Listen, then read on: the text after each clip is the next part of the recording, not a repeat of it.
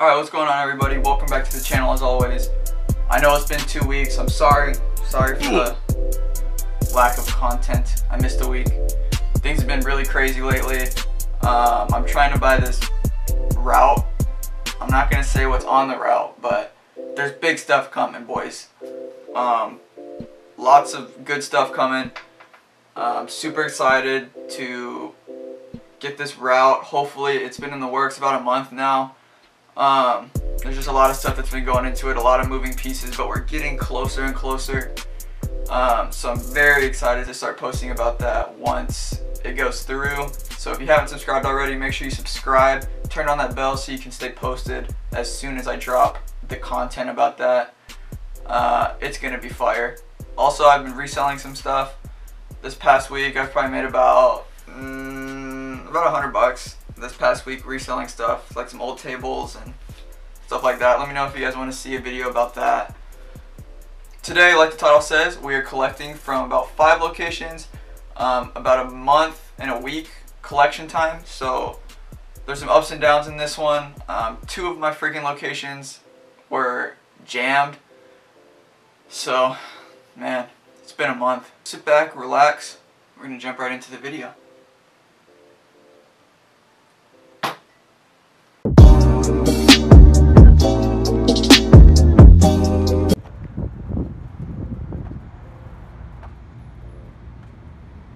Alright, so as you can see here, we are heading to our first location. Um, this is, of course, the place I work at. Um, they were kind enough to let me put it in their lobby. But this collection was about a month and a week, so a little bit over a month. As you can see, the peanut M&Ms and M&Ms were a favorite this month, so I went ahead and restocked those and checked the mechs, make sure they're working flip the boy around and see how much is in it.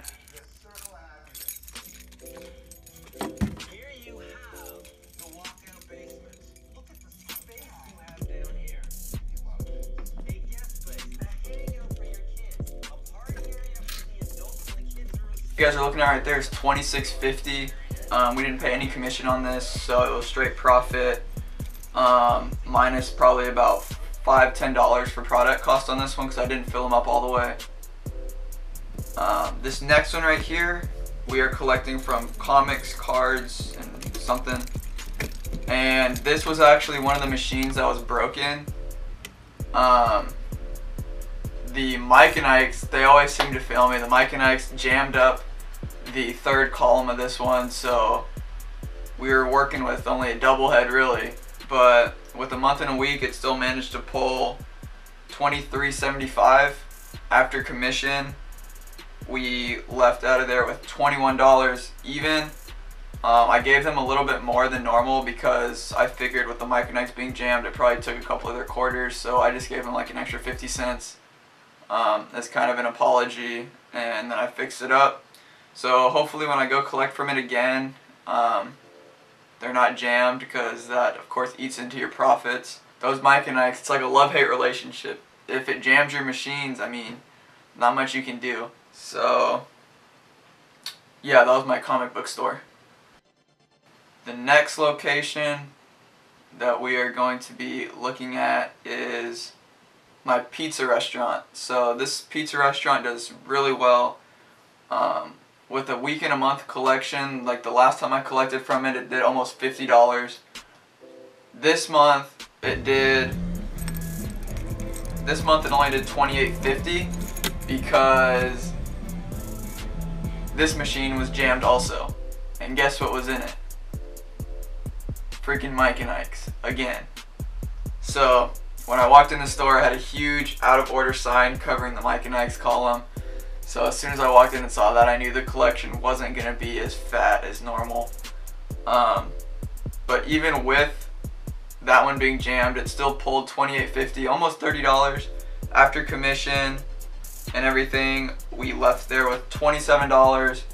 Um, I only filled up one of the columns, the, the Skittles column. Probably only spent about $5 on products there. Those Mike and Ike's, they're a pain in the butt. Probably gonna switch it with like Nerd Gumballs or something. I'm sure Nerd Gumballs will be super good in that location. Next location is a resale shop. I got the location in I think my last video. Um, so we're collecting from it and it did 26